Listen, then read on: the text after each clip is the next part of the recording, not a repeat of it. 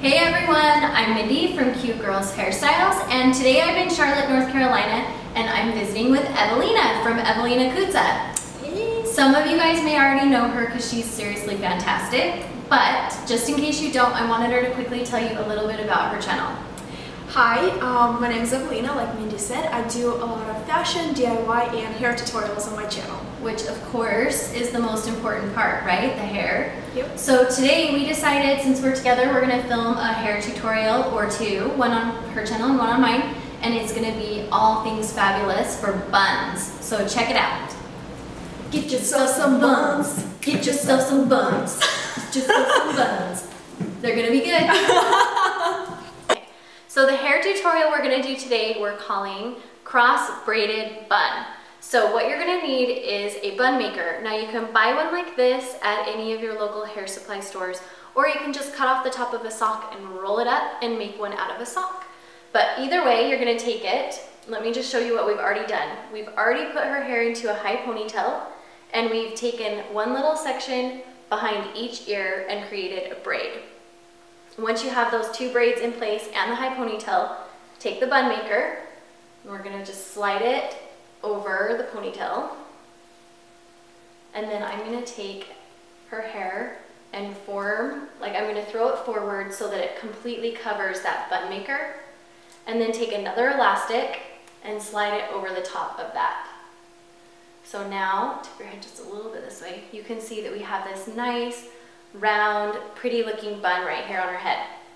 Now with the rest of her hair, what I'm going to do, now that it's already kind of fanned out, I'm going to grab a piece right here and just twist it, give it a little twist.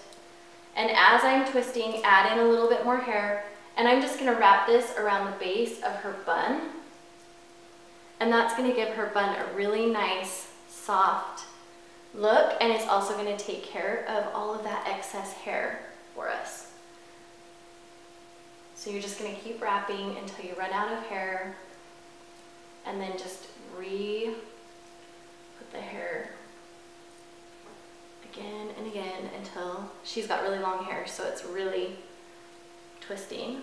And then I'm to take a couple bobby pins and just secure the ends so that they don't loosen up. Maybe one more. Thank you. And we have this nice soft wrapped sock bun, but now we're gonna add a little pizzazz to it. So we're gonna take our braids and I'm just gonna cross, so this is the braid that's by her right ear and I'm gonna take it over to the left side and just cross it in front, down at the base, and then using another bobby pin, I'll show you on the other side so you can see better. Let me just secure this one. Okay, so take the one on the left side, cross it over, and then wrap it up, whoop, and over the bun. And then you can see where mine's ending right here. I'm just gonna take that and hide that elastic and the end and then bobby pin it in. Like that.